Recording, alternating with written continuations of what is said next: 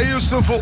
وجه لوجه مع الحارس هشام علوش. والهدف الهدف لصالح فريق نهضة بركان دا يوسف.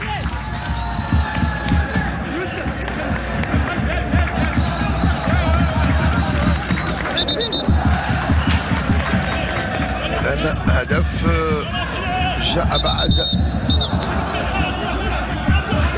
استعصاء كبير عاشته وعاشه فريق نهضة بركان. نتابعوا الهدف من خلال نقطة الجزاء دا يوسف أمام الحارس هشام علوش والهدف الأول. إذا على العموم.